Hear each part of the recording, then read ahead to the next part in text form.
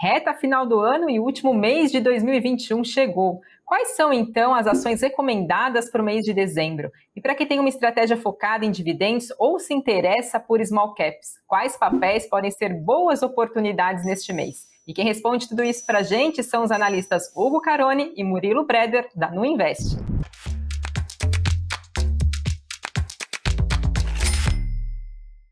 Oi, Hugo e Murilo, sejam muito bem-vindos a mais uma edição do programa. Obrigado, Fabi. Olá, investidores. É isso aí, o mês de novembro, um mês tenso para a Bolsa Brasileira de uma forma em geral, é, mas segue o jogo. Vamos para dezembro com mudanças na carteiras e olhando né, o cenário daqui para frente, comentando o que, que mudou desde o nosso último programa no mês passado para cá. Tudo bem, pessoal? É, seguindo a linha aí, como o Murilo comentou, foco o ano chegando aí ao fim, último mês, e agora olhar para 2022, né? E como ele mencionou, as carteiras aí já com algumas trocas. É isso aí, hoje é edição especial de virada de mês, onde a gente sempre traz as carteiras recomendadas pelos analistas da Nuinvest. No programa de hoje a gente vai falar de três delas, a mensal, a de small caps e a de dividendos. Vamos começar então falando pela carteira mensal, a carteira Top 10, que tem 10 ações recomendadas para o mês. Hugo, conta para gente um pouquinho como é que está o desempenho dessa carteira. Nesse último mês, é, a gente até ficou em linha com o mercado, a diferença foi pequena. A, a carteira teve ali o fechamento com uma queda de 2%, 2,02% para ser mais exato, e o mercado ficou ali na casa de 1,5%, um pouquinho mais. É, não foge muito, né? é uma carteira, por enquanto, que vem muito alinhado com o desempenho do mercado. É, nos últimos meses, a gente tem feito algumas trocas é, pontuais que, para a longo prazo, a gente possa começar a ter um, um, desempenho um pouquinho mais descolado, né? saindo um pouquinho daqueles ativos que têm um peso muito, muito elevado é, em relação ao Ibovespa, é, mas caminhando por enquanto ainda né, para um ano é, à frente da média do mercado. Legal, e essa carteira então tem novidades agora para o mês de dezembro, né? Conta para gente então quais são as mudanças e o porquê dessas alterações. Boa, bem, bem pontuado. É, esse mês a gente teve até um número um pouquinho fora do normal de trocas, né? A gente teve a retirada é, da B3, a retirada da BPAC, e, seguindo em linha, né? Pensando aí no setor financeiro, essa troca trouxe o ABCB, Banco ABC, para a nossa carteira. É, não teve muita mudança em questão de peso, tá? Porque B3 e BPAC juntas tinham 12% aí da carteira e, e, o Banco ABC vem com 11%. No caso, a gente ainda teve né, a retirada da referência da, da COSAN e aí a gente incluiu é, GGBR e TRPL4.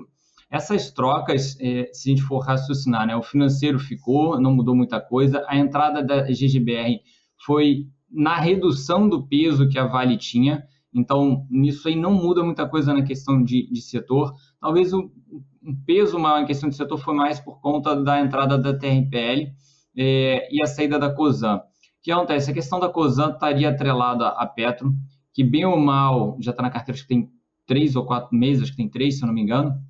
Está indo né, para o terceiro mês, se eu não estou enganado.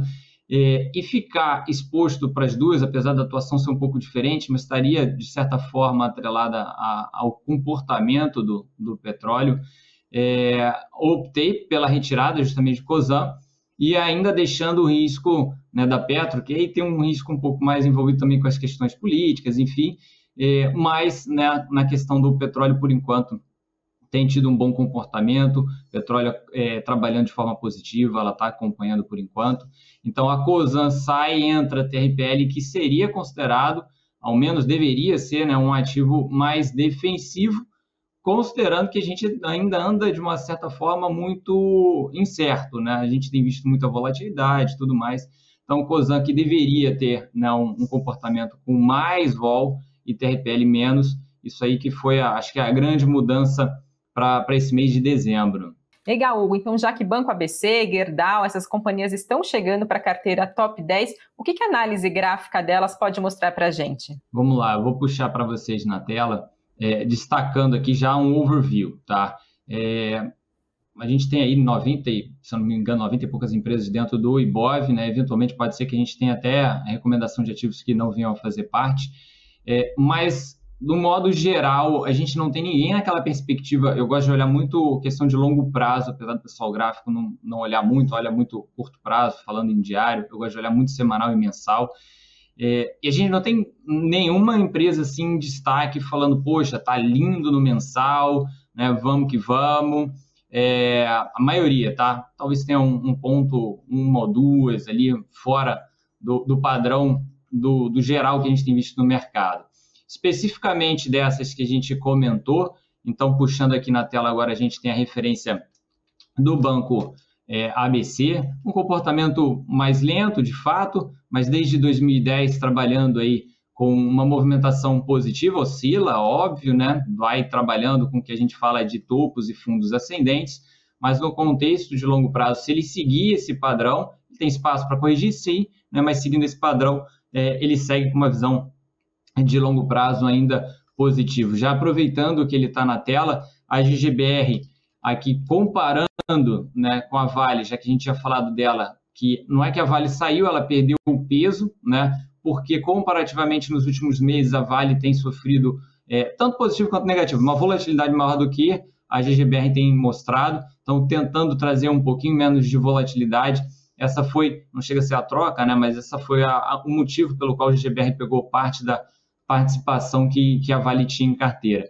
É, ela é uma das poucas, a gente percebe ainda o comportamento dos preços para cima das referências das médias, aqui especificamente é, falando do mensal, como foi a BCB também. Isso é algo positivo, claro, assim como a BCB pode oscilar, mas enquanto ele estiver sendo direto, assim, um preço mais próximo, quando estiver acima dos 25,80, a gente pode ficar com, com uma visão mais otimista é, com relação a, a.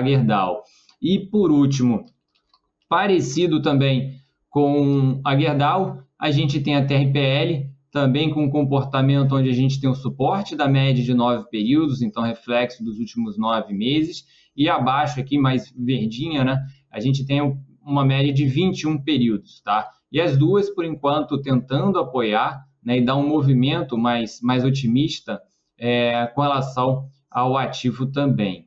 Bacana, ficam então aí os pontos de atenção. E agora a gente segue falando das carteiras, agora de uma outra, a de Small Caps.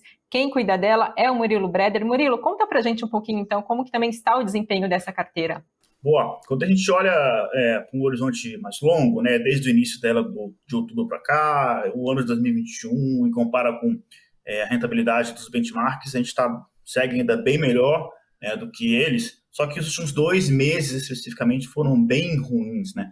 É, e eu já tinha falado aqui sobre essa questão, essa dinâmica do investidor brasileiro saindo da bolsa é, e comprando cripto, comprando ativo dolarizado, né, bolsa lá fora, por exemplo, mas o investidor internacional chegando, comprando bolsa brasileira. O que aconteceu em novembro, né, assim, em outubro, o investidor internacional comprou forte a bolsa brasileira. Em novembro, essa liquidez secou um pouco mais, né? Então, até isso foi um fator a mais de, de pressão negativa, né? E eu tinha comentado no mês passado que uh, essa, essa mudança do investidor brasileiro saindo e o investidor internacional chegando, é, como ele vem uh, necessariamente nos ativos mais líquidos da bolsa, né, nas, nas maiores empresas da Bolsa Brasileira, as small caps estavam sofrendo mais por conta disso, essa perda do fluxo e, consequentemente, as maiores empresas da Bolsa sofrendo menos. E aí, nesse, no relatório desse mês, eu até trago uma análise, eu gostaria de colocar na tela aqui o nosso primeiro gráfico, que é, é eu criei uma carteira teórica com as 10 maiores posições do Ibovespa. Então fica muito claro nesse gráfico, né, se, pegando em 2021, é, essa carteira com as 10 maiores posições do Ibovespa está caindo 1%, enquanto o Ibovespa cai 14% e o índice de small caps 19%. Ou seja, né, quando a gente fala que a, o cenário da bolsa está ruim, que o Ibovespa está caindo tantos por cento, que os small caps está caindo outros tantos por cento, na verdade é um cenário pior do que esse, né? Porque é, isso é, só, só caiu assim é, por conta uh, dessas 10 maiores posições. Se tirar elas da conta, a queda fica ainda mais é, brusca, tá? E eu fiz esse mesmo estudo, aí é o segundo gráfico que eu gostaria de colocar na tela também, é, especificamente para o índice SMLL, o índice de small caps da AB3. É, quando a gente pega as 10 maiores posições do índice de small caps, uh, também performando melhor do que o índice de uma forma em geral. Aqui é uma diferença menos brutal, né, do que quando a gente pega as 10 maiores posições do Ibovespa, mas ainda assim, pegando as 10 maiores posições do índice de small caps, a gente vê que essas ações têm performado ah, melhor do que o índice também de uma forma geral, muito porque eu já falei isso também anteriormente, o índice de small caps, ele por sua metodologia, ele acaba considerando empresas que eu, por exemplo, não considero como small caps, pelo tamanho, pelo valor de mercado, pela liquidez. Eu estou falando aqui de Azul, Marfrig, a Metalúrgica Gerdau, que é a holding da Gerdau, faz parte do índice de small caps, para mim né, é, não, é small cap isso, é, mas enfim, né, mas mesmo assim, uh, a gente tem visto esse movimento. Então, assim, as, as resumo da ópera, as verdadeiras small caps, né, é, têm caído ainda mais do que o SMLL. Então, é, esse é o cenário, tá? É por isso que é, é, está bastante ruim aí essa queda é, dos últimos meses, especificamente outubro e novembro. E aí, o investidor poderia, né, as pessoas que acompanham aqui a carteira poderia, e, e, alguns estão né, um pouco mais desesperados, assim, um pouco mais nervosos com essa queda, aí eu decidi subir a régua de comparação, tá? Porque uh, eu já estou 18% na frente, a gente já está na carteira de small caps, 18% na frente do SMLL, 18 pontos percentuais é, no acumulado de 2021, o que né, já é muita coisa. Mas eu quis comparar agora, e esse é um, mais um gráfico, né? É, dessa vez eu peguei cinco grandes fundos de small caps do mercado, é, e, e, todos eles com mais de 400 milhões de reais sob gestão. Uh, e, e, quando a gente vê essa carteira teórica com esses cinco grandes fundos de small caps, é, o resultado a gente tem visto aí na tela também. A gente segue, é, é, inclusive, com uma performance melhor do que a média dos fundos, tá? Que negativam 7% no acumulado aí no ano. E mesmo que os fundos apresentassem uma performance positiva, é importante ressaltar que no fundo de investimento você paga imposto de renda. Né? Então, mesmo que tivesse uma performance positiva, ainda teria que pagar 15% disso, né? coisa que quem vende até 20 mil reais dentro de um mesmo mês aqui no Brasil, pelo menos por enquanto, ainda não paga imposto de renda. Tá? Então, assim, é, o cenário é ruim, é, a gente chegou a ter 40% de retorno acumulado uh, em algum momento de 2021 por causa dessas quedas dos últimos meses, a gente devolveu tudo, né, praticamente tudo, mas segue muito ainda na frente, né, da, do índice de small caps. Então é um cenário que ninguém gosta, né, mas a gente tem que sempre olhar no relativo. A gente é, é compra ações, né, compra ações de small caps. Se todo o índice cai, por mais que a gente tenha, faça, tente fazer boas escolhas de investimento, ah, se, o índice, se o mercado todo cai, a gente vai acabar né, caindo também. Está na chuva e vai eventualmente acabar se molhando. Mas aí, é, essa que é a visão de um pouco mais de calma. Eu sei que é difícil falar em calma depois que cai, né, mais forte como caiu é, outubro, novembro, mas é nessas horas que é, o investidor, que quem fala que tem visão de longo prazo é de fato testado, tá? É, vou até falar daqui a pouco sobre a carteira de dividendos, que faço um outro estudinho é, sobre a relação de Ibovespa e CDI, é, mostrando que é, é um bom timing tá, para assim, colocar uma entrada na bolsa. Na verdade, é, tem, já tem vários estudos mostrando que uh, tentar acertar o timing é algo complicado, é muito mais fácil você uh, ir comprando com parcimônia ao longo do tempo. Na verdade, eu vou até usar esse gráfico aqui agora, né, que eu usei ele na carteira de dividendos especificamente, mas ele vale, obviamente, para a carteira de small caps, porque a gente ainda está falando de ações de bolsa brasileira. O que, que é esse gráfico aqui agora? Ele é a evolução é, do Ibovespa, um gráfico de dois eixos, né, e um desses eixos é a pontuação do Ibovespa e no outro é a taxa anual do CDI ao longo dos últimos 20 anos. Então, notem né, que sempre que uh, o ciclo de alta do CDI né, atingiu a sua máxima, é, marcou o fundo do Ibovespa, né, porque são coisas cíclicas. E a gente ainda não está no final desse ciclo de alta, né? A gente deve ver novos aumentos aqui, a gente deve seguir com uma Selic é, acima de dois dígitos durante boa parte de 2022, mas é, é, dado o benefício da história, a gente consegue olhar pelo retrovisor, todas as vezes que a gente teve um ciclo de alta assim, de Selic, é, isso marcou as mínimas da Bolsa. E como a gente tem visto o resultado do terceiro TRI, empresas demonstrando bons resultados, o que só reforça ainda mais essa questão de que é, não é querendo acertar o time, inclusive eu acho que o, o cenário de fato piorou, está mais com mais volatilidade, mas para quem tem visão de longo prazo, tem muita coisa barata na bolsa. Tá? Então, essa que é a visão é, do cenário de ações. Legal, e Murilo, essa carteira, né, a carteira de small caps, depois de dois meses seguidos sem alterações, agora tem novidade para esse mês de dezembro, né? Conta para gente então o porquê dessas alterações, por que agora veio mudança e quais são as novidades. Exato, Fabi. Para o mês de novembro, a gente ganhou dois novos nomes, tá? É Unifique e Jales Machado. Agora a carteira passa de 9 para 11 ativos. E como é que fecha a matemática do 100% de alocação? Né? Então, para dois novos ativos entrarem, é, eu preciso reduzir espaço em outras empresas. É, e além de Jales e, e, e Unifique estarem né, de fato descontadas, é, pelo menos segundo a minha ótica, né, sobre o estudo aqui do, do valuation, que a gente tenta identificar essas oportunidades, é, há também né, o cenário, como eu acabei de comentar, piorou, né?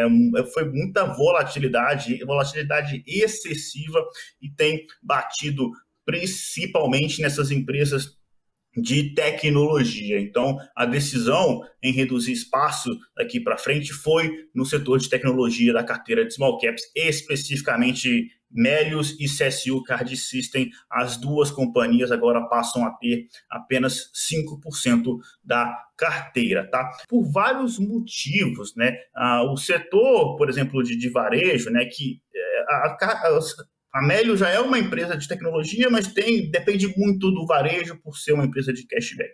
Então, a questão de Magalu, Via, que eu já falei bastante aqui, que o cenário piorou o macro começou a impactar no micro dessas companhias, Melius não é diferente, né? É uma empresa que depende da Black Friday, que pelos dados que a gente tem não foram, não, não foi uma boa Black Friday, então a gente tem visto aí revisões para baixo, inclusive no Natal. É, a CSU também é uma empresa que é, segue ali, né? É, a, CSU é mais um reloginho, ela tem resultado bem previsível, só que não tem muita novidade no case também. É, e aí, como uma empresa de tecnologia, o mercado acabou batendo mais nela também. Então, é, é e o resumo da ópera é que os juros que subiu muito durante esses últimos meses, é, ele vai continuar subindo. Essa é a expectativa. Então não é um cenário que é, acabou, né? Para fazer a brincadeira que a faca não terminou de cair no chão, resumindo, tá? Então a gente precisa reduzir a volatilidade nesses ativos e, eventualmente, se o cenário melhorar,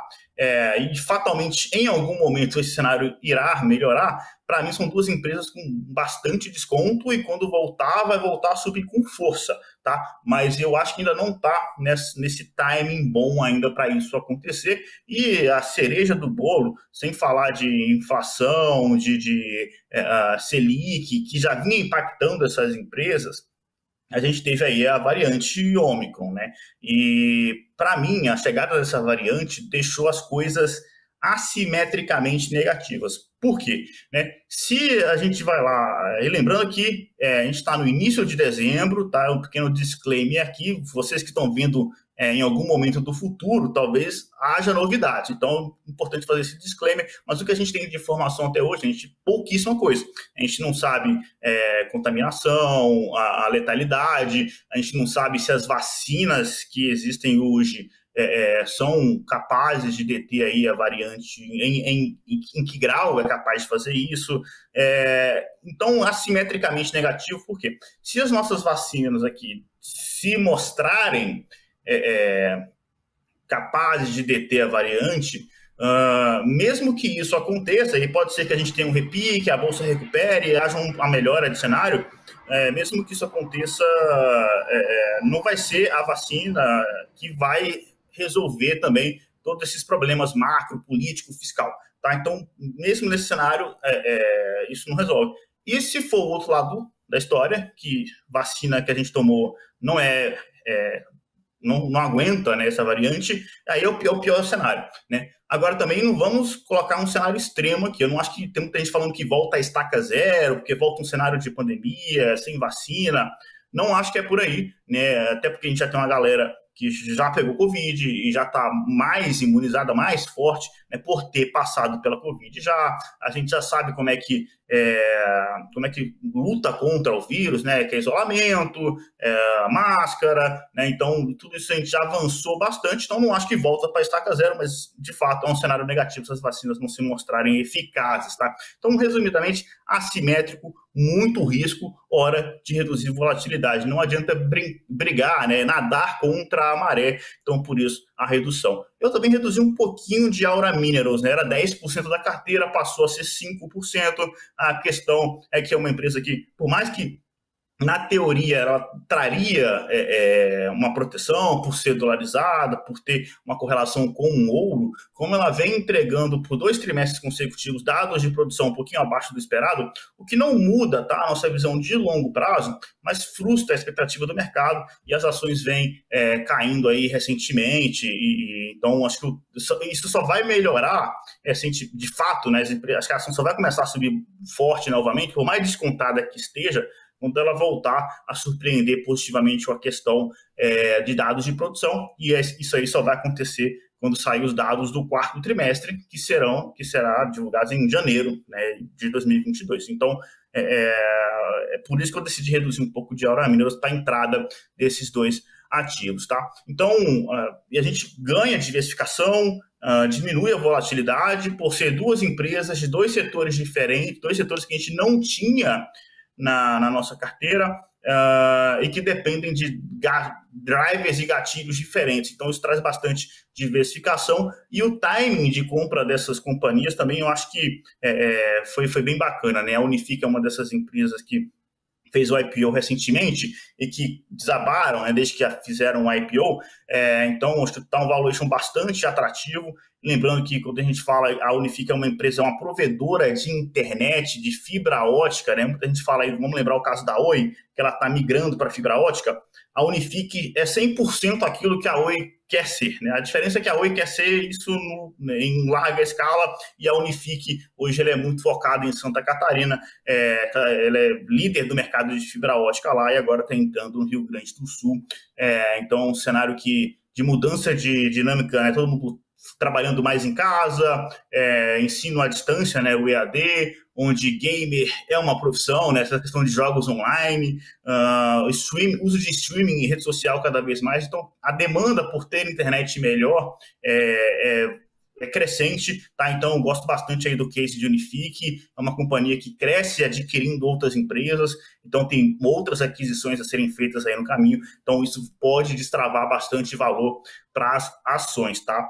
É, já para fechar aqui o caso de Jales Machado, é, o timing também do setor é muito bom, porque a gente tem o petróleo subindo, e isso acaba puxando o preço é, do etanol também para cima. Né? É uma empresa que, que ela é faz parte desse setor sucro alcooleiro, né? então ela planta cana e aí depois ela decide se ela vai fazer açúcar ou etanol. E ela pode ir virando a chavinha ao longo do tempo. E tá a mistura de câmbio desvalorizado, né? o dólar alto com esses elevados preços de açúcar e etanol, resumem em uma Jales Machado nadando de ganhar dinheiro. Né?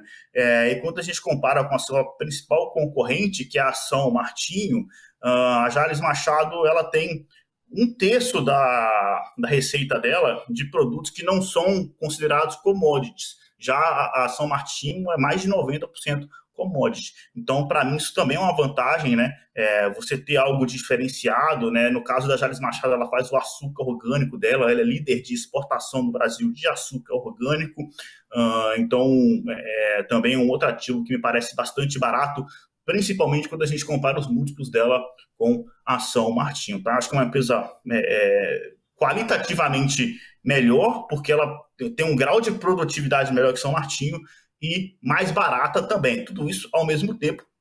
Por que, que está barata assim? Um dos grandes motivos é a liquidez. É um ativo novo na bolsa, small cap, não tem certamente um, muito longe de ter o mesmo volume de São Martinho, pouco coberta pelo mercado, pelos outros analistas. Então, tudo isso traz uma simetria de informação, por isso que a gente vê, encontra é, um ativo tão descontado dessa forma. Então, acho que o timing dessas duas empresas é, tão bom, estão bons, além de diversificar a carteira, e aí sim, depois de dois meses, chegou a hora de fazer essa mudança. Tá legal, ficam aí então as recomendações de small caps do Murilo. Vamos passar agora para mais uma carteira, agora a carteira de dividendos, ela que foi lançada agora no mês de março desse ano. Murilo, traz para a gente também um pouquinho o desempenho dessa carteira até agora. Aqui a gente tem, na verdade, pouca novidade em relação ao que foi falado no mês passado, né? Porque a gente tinha comentado a bolsa, né, o cenário continua de queda, e na ocasião eu falei uh, de que as carteiras, as ações pagadoras de dividendos têm uma espécie de seleção natural, que elas são mais resilientes, principalmente nesse cenário de queda, mas destacando que na, no episódio né, do mês passado eu falei que mesmo quando a bolsa subiu, as, as empresas pagadoras de dividendos performaram melhor do que a média. Né? Mas, e tudo isso por quê? Né? Porque são empresas que é uma empresa pagadora de dividendo, é, ela é defensiva, né? Por, porque você tem que ser um business estável, você tem que ter um endividamento controlado, você tem que ter geração de caixa, e isso, óbvio, fica é, exacerbado quando uh, fica bem nítido quando a bolsa cai, né? Mas isso também funciona, obviamente, no longo prazo. É uma seleção natural, porque a empresa, para ser uma pagadora de dividendos boa, sustentável no longo prazo, precisa dar, dar check em todos esses pontos, tá? Óbvio que isso uh, não significa uma blindagem, né? É, mas, de, enfim, se a bolsa vai cair, a gente não vai cair, não é isso. É, só que existe uma tendência de que o desempenho seja melhor e, de fato, isso tem acontecido. Né? Desde o início da carteira aí, a gente tem caído bem menos do que o Ibovespa, tá? É, e um dos pontos, né, que, que a gente é, caído menos, mas caindo e e performando abaixo do índice de dividendos, que é o IDIV, é nosso, é nosso principal benchmark, né, acho que é o mais fiel, é, mas porque a carteira de, de, dividendos também tem small caps no meio, né, que é o caso de Brasil Agro, Kepler Weber. Quando a gente fala, falei aqui daquela lista de 10 empresas de maiores posições no índice, né, Agora que a gente está ajustando a carteira, dado esse cenário, no mês passado entrou a JBS muito para cumprir essa função também, é desse movimento mais tático, é, e agora, em dezembro, a gente teve mais uma mudança nesse sentido. Então, assim, como a gente está fora desse grupinho dos 10, a gente, né, eu acabei, acabei de mostrar que as, as, outras ações da Bolsa sofreram mais durante os últimos meses, a nossa carteira também é, não foi diferente. A gente segue melhor do que o Ibovespa, mas um pouquinho abaixo aí realmente do, do índice de dividendos, mas muito em função uh, de, de, de a gente ter empresas de menor porte no portfólio também. Legal, e assim como a top 10 a carteira de small caps, a de dividendos também, é novidade agora para o mês de dezembro, né? Conta pra gente, então, qual foi a modificação que você fez. Perfeito. Uh, eu já tinha reduzido a posição em Copel uh, durante o mês passado e agora eu decidi zerar a posição de fato. Uh, não necessariamente por uma mudança drástica no fundamento, mas na verdade não tem uma. não, não vejo gatilhos é, de curto prazo. Né? A gente passou aquele susto com, é, é, com a crise energética, uh, e agora, assim, acho que pelo contrário, né, acho que as ações de Copel podem ficar um pouco pressionadas enquanto o BNDES não se desfazer de suas ações. O mercado vai ficar em compasso de espera. É, um dos gatilhos aí seria essa, esse robusto pagamento de dividendos que já acabou de ocorrer. Então, a gente vai ficar por algum período aí de tempo. Eu não vejo um gatilho, um driver significativo para a Copel, é, porque né, um dos, uma das coisas seria ela melhorar o grau de governança corporativa dela, eu acho que isso é importantíssimo, mas a própria empresa já falou que isso só vai acontecer depois que o BNDES sair. Então, é, enquanto o BNDES não sair, vai continuar essa pressão adicional. Uh, então, é, e, e, aí juntando muito com aquilo, com aquela mudança do mês passado, onde entrou JBS, agora entra Petrobras na, no lugar de Copel.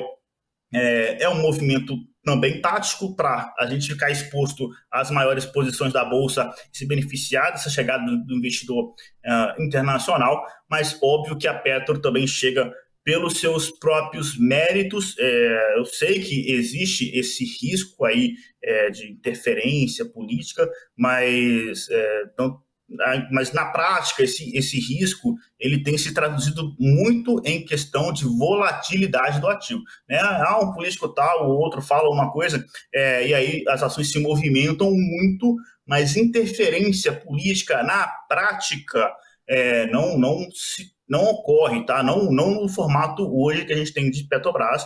É, enfim, qualquer tentativa de vender petróleo abaixo combustível abaixo do valor de mercado, o CEO, né, os diretores da empresa serão, no mínimo, processados aí pelos investidores internacionais, pelo TCU, né, é, porque você não está lesando só a empresa, o que já é ruim, mas está lesando a própria União, que é um dos maiores acionistas de Petrobras. Né, então, uh, é muito mais difícil interferir do que se parece. Né, então, enfim, qualquer medida dessa sequer passaria no conselho de administração, então teria que mudar não é só o CEO, o presidente, mudar o conselho, teria que ser um trabalho muito arquitetado para conseguir, de fato, definir na Petro, então o buraco é bem mais embaixo, tá? E, assim, a grande cereja do bolo de Petro foi a questão da, do plano estratégico que ela acabou de divulgar recentemente, referente a 2022 até 2026. Ela vai continuar fazendo os planos, desinvestindo, né? Que ela já, já vinha fazendo isso, é, e, mas ao mesmo tempo ela pretende aumentar a produção ao longo desse tempo, tá? Mesmo com os desinvestimentos. Agora ela tem uma política de dividendos também, que vai passar a ser trimestral e, e uma robustíssima política de dividendos. A gente está falando aí de uma faixa de dividend yield de mais de 20%, né? sendo que hoje a nossa conta aqui é 24%.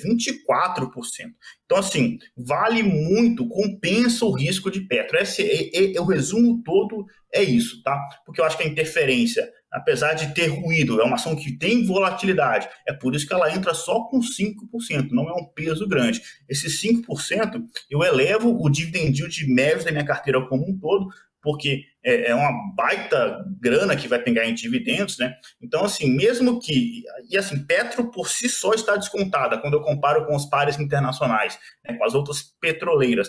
Mas mesmo que a ação não ande, tá? Mesmo que é, isso não se, se concretize é, em questão de 4, 5 anos, tudo volta para sua mão em formato de dividendos. Então, assim, me parece né, é, um, um trade-off aqui bastante interessante, né? Sob essa perspectiva então, é, sem falar que é, todo mundo está esperando aí, não todo mundo, tá, mas a maior parte do mercado espera um petróleo ainda subindo, né? mesmo com a variante, que até então a gente não tem dados que a variante pode causar lockdowns severos, da mesma forma que a gente teve no início da Covid.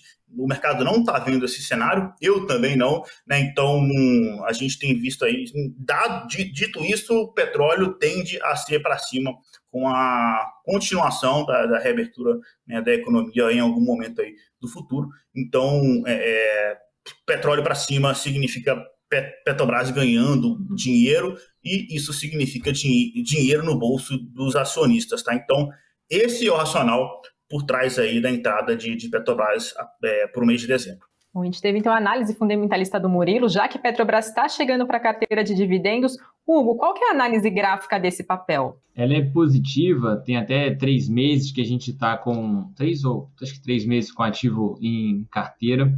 É, para quem me acompanha mais tempo, realmente não é um ativo que me agrada muito e, e eu vou mostrar aqui na tela para vocês entenderem o porquê. É, concordo né, com o overview todo feito da parte de fundamento comentada pelo Murilo, é, mas para a gente entender, eu acho que vem uma nova oportunidade. É, a primeira parte que o Murilo falou da comparação do desempenho do mercado também tem a ver com a Petro, comparação do, daqueles 10 ativos de maior peso né, do índice com o resto do mercado. Isso também tem a ver com a Petro. É, nos últimos dias, se a gente não tivesse essa participação positiva do ativo, é, a gente estaria num desempenho do Ibov muito pior. Claro, tem outros ativos que têm peso, contribuíram também, mas acho que ele foi o que teve mais peso positivo para esses dois últimos meses. É, como a gente está acompanhando na tela, é, ele veio no mês passado, vamos lá pontuar, mês passado ele acabou fechando com uma alta de acho que 7,78, se eu não me engano. Está caminhando por enquanto positivamente ao longo desse mês. E tem algumas pessoas achando que ele já está, né? Ah, é o preço mais alto da história dele. Não, ele ainda não passou do topo histórico que a gente teve lá na outra crise, no ano passado, né? em 2008. E essa, esse nível de preço foi de R$ 31,66. Isso, claro, ele desconta provento tudo mais, tá? Depois, se alguém quiser o valor real, é, eu passo para vocês, mas esse é o valor descontado, tudo que foi pago ao longo desse tempo. Então, a gente, bem ou mal, tem um ativo que ele, de uma certa forma, está devendo, né? Vamos dizer assim, o mercado foi renovando, as boas empresas né, foram renovando é, suas máximas pós 2008 e a gente está com esse ativo que ainda está devendo, né? Então, é, eu acho que não é nem a busca só por esse preço, é, na realidade, ele deveria andar muito mais, e, e aí pode casar tanto a questão de, de fundamento, como pontuado pelo Murilo, como estar devendo e ter peso no índice, né? É, isso é um tipo de giro que ocorre, que é normal. Então, fazendo gancho de novo com o que o Murilo comentou antes, é, quando você tem esse tipo de movimentação por parte do mercado, é, onde ativos de peso têm um comportamento X, pode ser queda de alta, não importa, mas contrário do que você está vendo é, para o resto do mercado, é, é, um período mais chato, indiferente se está acompanhando carteira, que se você faça a sua carteira, você vai ver que normalmente é o período que você não consegue é, acompanhar a média do mercado, mas isso, pelo menos, a sorte é que isso não é tão frequente, mas são ciclos que ocorrem. E, pelo visto, nesse momento, o ciclo parece vir por parte da Petro. Há um tempo atrás, a alta é, do Ibov foi muito por conta, claro, tinha o IMAT né, de materiais e, por consequência, vinha ali muito a Vale, né, puxando bastante. Então, vamos acompanhar. É, a perspectiva, como está na tela, se eu for jogar o valor aqui mais otimista, tá? vai dar bem distante, mas lembrando, isso aqui é uma visão bem longa do ativo, tá? Então ninguém fica esperando que isso vai bater mês que vem, nem nada. Se ele realmente passar a trabalhar dentro dessa perspectiva positiva, a gente está falando aí um ativo na quase beirando aí os, os 30, né? A gente está falando lá em 50 reais, tá? Visão longa, pode oscilar, no meio do caminho pode voltar para 20 e vai trabalhando dessa forma até buscar o que a gente tem aqui, a gente fala é o comportamento de um canal de alta, né? Então a gente veio, vou mostrar depois aqui para trás, uma alta antes de 2008, passou esse período inteiro né, estagnado e agora ele ganha espaço de novo para tentar buscar a região lá em cima. Então só para que vocês possam enxergar, ó, foi um papel de comportamento positivo de 94 até 2008, oscilando, né, como pontuado. Então aqui segue para um possível novo movimento semelhante porém né, oscilando. Né? Sem considerar a crise ali de 98, só para a gente ter uma ideia aqui, no meio do caminho, você tem uma realização que parece pequena visualmente, né, olhando o macro, ah, depois que sobe parece que não é nada, mas aqui é uma realização de uns 40%. Então, ele pode oscilando, porém eu acho que dessa vez, finalmente, né, depois de mais de 10 anos, né, acho que finalmente pode vir uma, um movimento mais otimista com relação ao ativo. Legal, essas são então as três carteiras recomendadas agora para o mês de dezembro. Lembrando que vocês conseguem conferir mais detalhes delas no nosso site, investnews.com.br, na seção de carteiras. Vocês conseguem conferir as empresas em detalhes, preço-alvo, mais informações então sobre o desempenho. Aproveite para acessar e acompanhar. E dando sequência aqui ao nosso programa, a tradição de todos os domingos, a gente sempre traz perguntas enviadas pela nossa audiência. Vamos então a elas? Bom, separei algumas perguntas que nós recebemos no decorrer das nossas transmissões aqui no Invest News. A primeira delas, Hugo, Lucas Nocolete pergunta: devo trocar as ações mesmo realizando prejuízo? Sim, sim. É, é, é comum ter esse tipo de, de pergunta na realidade. É, é acho que o pessoal fica pensando que a retirada de um ativo em carteira está mais relacionada a um ganho sempre, e não. Né? Se um ativo ele passa a não ter o desempenho esperado que você gostaria que ele tivesse em carteira, é, não tem jeito, ele tem que sair. É, eu até separei, ele não está relacionado à referência da top 10, da carteira mensal, é, eu separei a referência de um ativo que chegou a fazer parte é, da, carteira, da carteira semanal. É, eu joguei ele aqui que é bem, bem exagerado para que vocês possam entender. Claro que era um ativo que a gente já sabia que era bastante agressivo. E, e dentro desse, desse, dessa situação, é, só para entender, né, se não tivesse feito a retirada desse ativo, ele até deu um lucro pequeno, tá? Mas dependendo da velocidade, porque a abertura dele nessa, nessa semana, quando houve a troca, foi muito rápido negativamente. Então, você demorou ali um pouquinho, você já estava negativo com o ativo, é, e se não tivesse feito a retirada, aqui no caso, para quem não está conseguindo acompanhar na tela, é a referência da PDG, é, quem não fez a retirada desse ativo, ele desde o momento da retirada até agora, ele está caindo 78%, isso daí em, sei lá, quatro meses apenas. Então, quando a gente faz a retirada do ativo, eventualmente ele pode até não cair e tudo mais, mas a gente não vê uma perspectiva, é, no meu caso, gráfico, e provavelmente pelo Murilo, ele não vê uma perspectiva positiva por parte de fundamento, alguma coisa pode ter mudado com relação é, à empresa, ao setor, é, enfim. E não esquecendo, né, como a gente está trazendo uma questão de uma carteira, é uma diversificação. Então, é, no caso, a gente pode, no caso aí, por exemplo, PDG, é, poderia estar entrando uma outra do setor. Então, assim, a diversificação ficaria sendo a mesma, porém algo pontual com relação a ela não agradava, que em outra poderia estar agradando. É, então, continua tendo o mesmo nível de diversificação, eventualmente de risco, né, mas com um, um novo ativo. Então, se você não fizer essa troca, se acabar ocorrendo um, um desempenho como esse aí, você vai ficar completamente fora né, do, do que a gente está buscando como, como retorno. Então, quando a gente fala ah, em um ano, é, a Semanal tem mais tempo, né, quase dois anos, é, tem o tanto de rendimento. Se você não for seguindo as trocas que a gente está fazendo, é, não tem como comparar, né? A gente não pode falar que é, tive um desempenho tanto e o seu desempenho tem que ser esse, né? Então, tem que estar tá acompanhando esse, essas trocas. Bacana. Temos também uma pergunta do André Luiz Lima, Hugo. Ele pergunta: Posso ter em carteira ações como Petri 4 e ETF Bova 11 ao mesmo tempo? Resumindo, tenho que escolher entre ações e ETFs ou posso ter os dois em carteira? Boa pergunta. É, Para a gente agora no mês de dezembro já fiz a carteira, tudo bem. Na virada do ano, é, é muito provável que venha ocorrer algo parecido com a pergunta dele, então acho que já até é um, é um, é um spoiler lá para frente, é, que seria que tipo de. É que ele pontuou muito Petro e, e, um. qualquer. Vamos botar o Bova como exemplo que ele falou, tá? A Petro já tem muito peso é, com relação à Bova, tá? Você pode ter as duas, claro, mas você tem que estar acreditando muito no movimento, esquece BOVA, tá? que é uma composição, uma carteira de vários ativos, tá? mas sabendo que Petro especificamente tem peso em BOVA, você tem que estar acreditando muito no movimento dela nesse momento que você está alocando. E por que, que eu gostei da pergunta? E como falei com relação a, ao próximo relatório, provavelmente a gente vai ter uma, uma mudança em linha mais ou menos com o que ele pontuou. É, a gente tem duas, duas formas de trabalhar tá? Claro, para outras carteiras, mas que eu vou passar de raciocínio para vocês.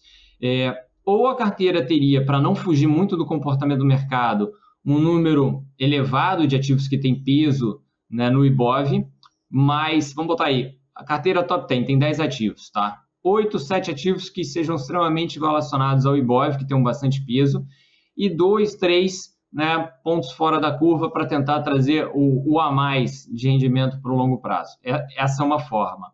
A outra, para a gente não ficar engessado em oito, sete ativos que tenham peso, seria dar um alto peso para um ETF é, que seja atrelado ao IBOV, então uma BOVA 11 é, da vida para esse peso, vamos botar aí 50%, 55%, tá? só para ter como exemplo.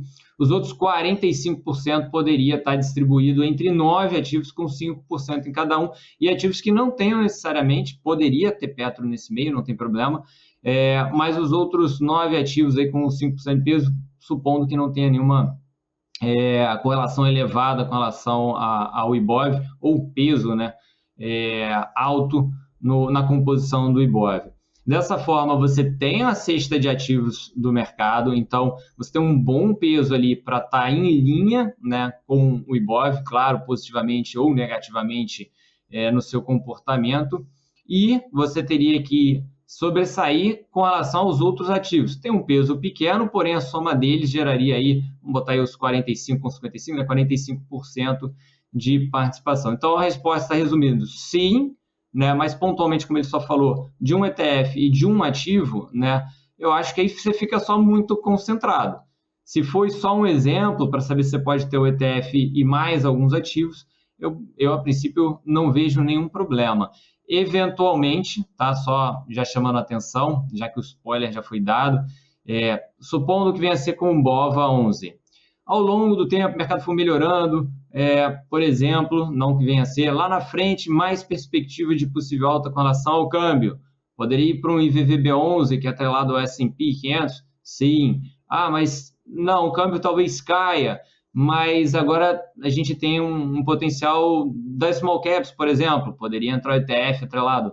Então, é, isso provavelmente vai ser uma coisa que a gente vai estar tá vendo para a virada aí do, do ano, tá? Então, na, na, no relatório de, de janeiro, é possível que você veja algo parecido com o que você perguntou.